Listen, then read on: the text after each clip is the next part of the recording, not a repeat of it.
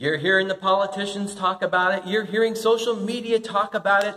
These tough topics, topics like the environment, topics like immigration, topics like abortion, euthanasia. We're getting bombarded with all this input, with all these opinions, but there's one opinion that we need to hear the very most, and that's God's Word. God's Word actually has a lot to say about all these things. And over the next three weeks, in a series that we're calling Where Is It Written? I want to help to equip you and me to have better conversations on all of these tough topics. Biblical conversations, gracious conversations. So, for the next three weeks, each Sunday morning, I'm going to be uh, you know, opening up a topic in the message.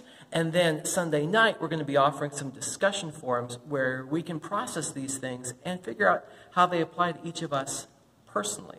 So I hope you can join me um, as we uh, dig deeper and ask the question, where is it written? God bless you.